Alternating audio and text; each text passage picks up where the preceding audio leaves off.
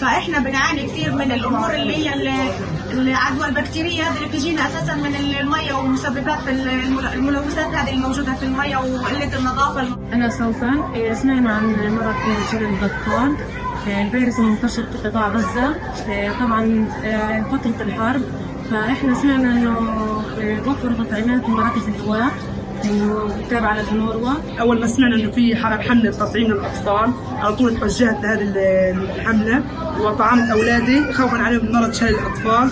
لكن نتمنى أن يوفر لكل قطاع أن هذا مرض بسبب الأطفال. حماية الأطفال جميعا.